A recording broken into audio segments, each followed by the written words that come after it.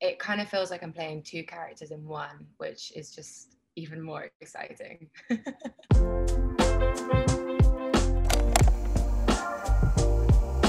the cast were incredible. I FaceTime with all of them separate individually before I uh, started because I wanted to to get their uh, characters POV on their relationship with Kate so that I could really make it authentic and like dig to get that chemistry. When I read it, I freaked out. I screamed out loud. I I just wasn't expecting it. So I still don't really know what what happens towards the end of the season. I know every episode we start to unveil that onion more and more and more. Every layer starts to get peeled apart. We put it to bed by having that entire funeral, but then now it's like, wait, no, plot twist, she's actually alive and she's actually someone else, and now she's got a mask on. Like, I was like, what? It's like drama on drama on drama. All of a sudden, season one, season two, everything is beginning to weave together, and Mary, you know, like always, is going to be in the middle of it all. Batwoman, we took a group vote, and you need to come home. What are you talking about? Angelique is being held somewhere in this dump.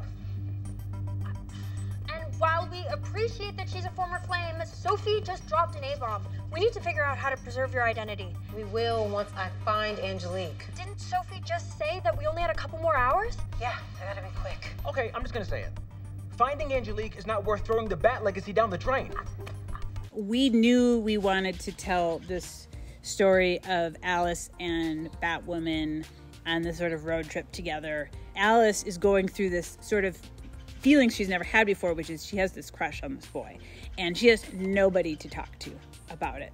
And you know, when you have a crush on somebody, all you want to do is talk about it and like, you know, talk about that person. And the only person she has to talk to is Ryan. And so she's trying to like in her own Alice way, girl talk with this woman who hates her guts. Angelique and Ocean are apparently being held at a place that is more fortified than this one, and quite frankly, I need backup. By which I mean someone to stand behind so that the bullets don't hit my visage. We're working with Javicia. Yeah, so I haven't really worked with Javicia uh, in any sort of extended dialogue scene or, or real interaction or connection. Uh, most of it has been fight based. And, and what we've realized is that we just become total goofballs. It's actually, it's fine for me because my character is kind of a goof anyway, but she keeps being like, I gotta be serious. I hate you. I gotta be serious. Today especially was was ridiculous because we were in the Batmobile together and um, you know, just having a real laugh. so it's been really nice. If they were harmed in any way, I swear to you on my headless mother's grave. he just passed out. Oh my God. You love him. I just kicked him for no reason. Not him. Ocean. Ocean? What? No. Is that your boyfriend? I drove a knife through his heart. Well, for you, that's not a no. Oh, that's true. I had a bit of a breakthrough at yesterday's therapy session, although it would appear all the unresolved feelings I have for him that I thought I resolved in killing him are, as of yet, unfortunately, still on the table. Last night's teenagers made it all the more confusing. That's why you needed my help. To make sure he makes it out of this alive. Follow me. Stay close. Yeah. Well, I also really enjoy sort of playing the character of Alice off of any character that has to be very straight-laced, very serious. Because I think Alice gets a kick out of that. I think she gets a kick out of getting a rise out of these people who, you know, are very business uh, and like getting it done. Uh, and in the Batmobile, it's no different. She's like, you know, pressing buttons and like trying to like get the goss out of Batwoman. And Batwoman is just like, enough, no. really and truly, the last couple days, like my main goal has just been to make Javicia laugh. So if, if we're in a scene and I can make her like crack a smile because she can't keep in a laugh, then I'm like, cool, that scene's done.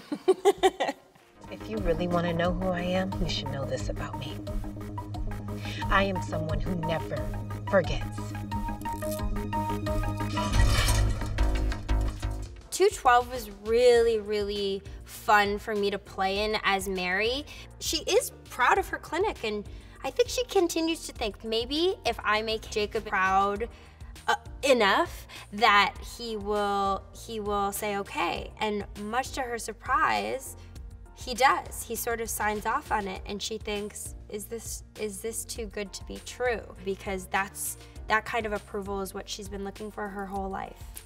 Wait, wait, wait. seriously. You do get that we're basically treating and harboring potential criminals here. Well if it means you start taking my calls again. I don't need to know that thing is not plugged in. I'll I'll talk to you later.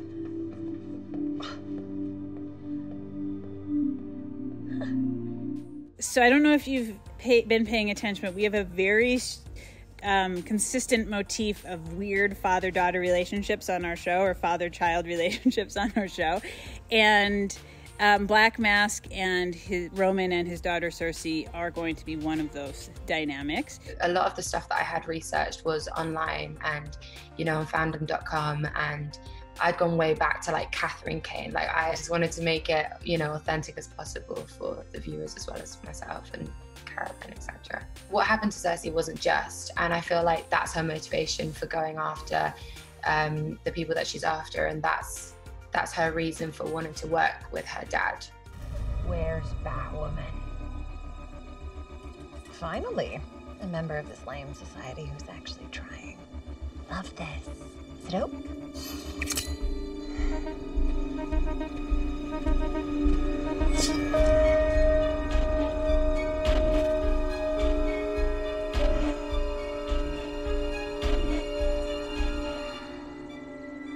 can find her on the deck. I'll be back for you. Alice felt like she was confiding in another, like in a girlfriend, about being like, "Here's this boy I like. Like, do you have any advice?" And she kind of put her heart on her sleeve a little bit toward Ryan, and then Ryan, you know, handcuffed her to a pole and left her for dead, so to speak, or for Black Mask. I think one of the things that I love the most about the whole universe of Batman and Batwoman is that you're dealing with someone who is not always good they're always presented with choices um, to, to be good or to be bad, and they make the choice to be good. But they're also human, and sometimes they make the choice to not do the right thing, and of course, that means leaving Alice to die. Um, you know, it sets up this interesting dichotomy between the two of us because as much as I've wronged her, now she's also kind of wronged me, and I think it makes the relationship a little more spicy going forward. I also think it gives Alice a little bit of a vendetta to not like her back. I remember your mom. Cora, I remember her. Short hair, purple sweater. I lied about forgetting her. No, help me. Please. Like you said, can't save everyone.